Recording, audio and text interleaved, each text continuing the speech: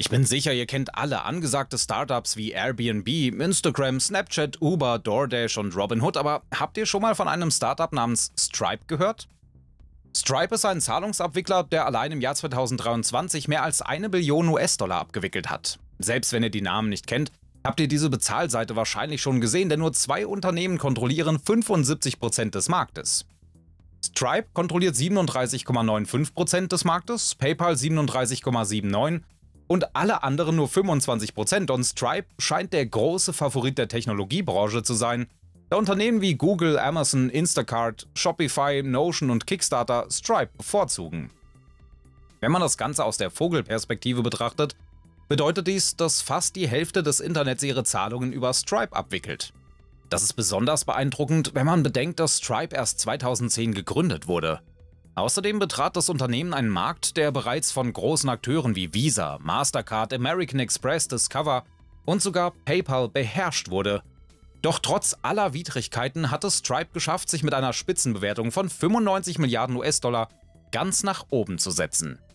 Sehen wir uns an, wie sich Stripe von einem College-Nebenprojekt zum wertvollsten privaten Startup der Welt entwickelt hat. Wenn wir einen Blick zurückwerfen, führt uns die Geschichte von Stripe nach Drominier, einem kleinen Dorf im ländlichen Irland zu den Brüdern John und Patrick Collision. Schon in jungen Jahren zeigten die Brüder Anzeichen einer akademischen Begabung und Interesse an Informatik, Mathematik und Physik. Dies mag auf ihre Eltern zurückzuführen sein, die einen wissenschaftlichen Hintergrund hatten. Ihre Mutter war Mikrobiologin und ihr Vater Elektroingenieur, und so kamen die Brüder schon in jungen Jahren mit der Programmierung in Berührung. Tatsächlich lernte Patrick im Alter von etwa 10 Jahren Programmierung und er entwickelte nicht nur einfache Apps oder Spiele. Nein, mit 16 gewann Patrick eine Auszeichnung als Nachwuchswissenschaftler des Jahres, als er eine neue Programmiersprache namens Chroma entwickelte, die von der Lisp-Familie inspiriert war. Das Verrückteste daran ist, dass sie in ihrer Kindheit in ihrem Dorf größtenteils nicht einmal über einen Internetzugang verfügten. Wie ihr seht, waren das keine gewöhnlichen Teenager. Während sie weiter mit dem Programmieren herumexperimentierten, begannen die Brüder natürlich auch den Aufbau von Online-Unternehmen zu versuchen. Zum Beispiel gründeten sie ein Unternehmen namens Octomatic, das eBay-Shop-Besitzern dabei helfen sollte, ihren Lagerbestand zu verfolgen. Dieses Unternehmen wurde in den renommierten Y Combinator aufgenommen und als die Brüder 20 Jahre alt waren, verkauften sie Octomatic für 5 Millionen US-Dollar an Live Current Media. Es ist wenig überraschend, dass Patrick und John trotz ihrer Aufnahme am MIT bzw. an der Harvard University wenig Interesse an einer weiteren formellen Ausbildung hatten. Sie stiegen bald in die Entwicklung von iOS-Apps ein und nutzten das Geld, das sie mit kleinen Apps verdienten, um ihr Studium zu finanzieren. Sie waren überrascht, wie einfach es war, mit iOS-Apps Geld zu verdienen, da Apple das Zahlungsportal so benutzerfreundlich gestaltet hatte und hier entstand die Idee für Stripe. Zahlungen waren auf dem iPhone so einfach, aber überall sonst im Internet so schwierig. Schnell wurde ihnen klar, dass die Abrechnung mit Kunden einer der größten Schwachpunkte beim Aufbau eines Online-Geschäfts war. Es gab damals nur zwei Lösungen. Die traditionellen Finanzinstitute, die nur mit großen Unternehmen zusammenarbeiteten, und PayPal, das sich auf Endverbraucher konzentrierte, aber die Collision-Brüder hatten einen anderen Zielmarkt. Entwickler. Letztendlich haben Entwickler großen Einfluss darauf, welche Zahlungsplattform ein Unternehmen verwendet, insbesondere wenn es sich um kleine Online-Unternehmen handelt. Die Brüder lösten im Grunde ihr eigenes Problem. Sie waren in der Vergangenheit selbst die Zielgruppe für einen Service wie Stripe, als sie andere Online-Unternehmen aufbauten und wenn sie bei Entwicklern beliebt werden, könnten sie auch bei Unternehmen beliebt werden.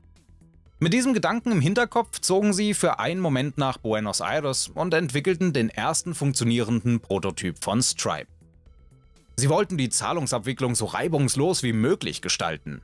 Stripe arbeitet bekanntlich nur mit sieben Codezeilen und ein Startup muss nur diese sieben Codezeilen auf seiner Website hinzufügen, damit Stripe funktioniert. Das war's. Diese Einfachheit hat Stripe zum Liebling der Entwickler gemacht und dass sie selbst Y Combinator Gründer waren, half ihnen enorm, frühes Feedback und Nutzer zu gewinnen. Tatsächlich war eines ihrer ersten Kunden ein YC-Unternehmen namens 280 North und dessen Gründer Ross Boucher mochte das Produkt so sehr, dass er beschloss, sein Startup aufzugeben und sich Stripe anzuschließen. Mit diesem frühen Interesse begannen die Brüder sich an Investoren zu wenden und 2011 erhielten sie eine Investition in Höhe von 2 Millionen US-Dollar von Elon Musk, Peter Thiel, Sequoia Capital und Andresen Horowitz. Zu diesem Zeitpunkt befand sich Stripe noch in der privaten Beta-Phase Aber im September 2011 wurde es der Öffentlichkeit vorgestellt, was zum legendären Aufstieg von Stripe führte.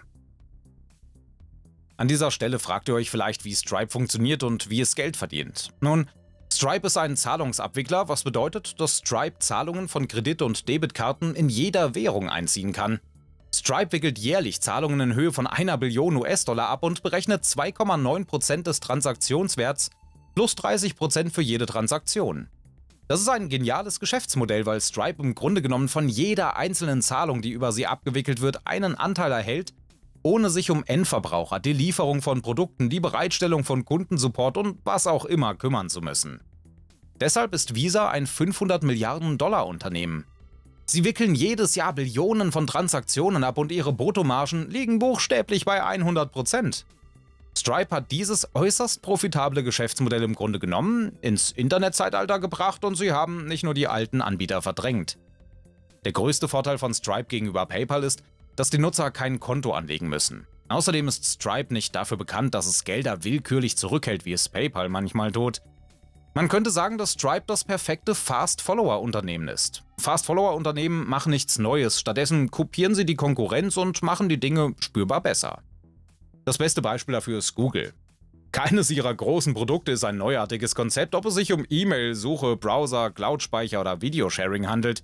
Sie haben all diese Dienste einfach besser gemacht und da die Menschen bereits wissen, was all diese Dinge sind, musste sich Google nicht um die Aufklärung der Kunden kümmern, sondern sie nur davon überzeugen zu wechseln.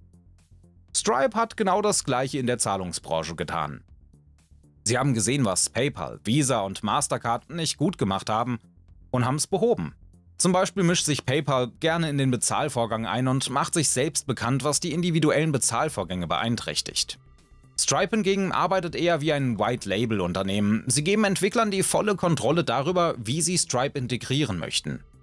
Die Zahlungsabwicklung war jedoch nur ihr erstes Geschäft. Als sie immer weiter in diese Richtung gingen, erkannten sie, dass es mehrere angrenzende Märkte gab, die sie bedienen konnten, wie zum Beispiel Sicherheit. Stell dir vor, du bist ein Geschäftsinhaber, der Zahlungen abwickelt. Du musst dich regelmäßig mit Kreditkartennummern und anderen sensiblen Daten befassen und je größer du wirst, desto mehr wirst du auch für Hacker und Kriminelle zum Ziel.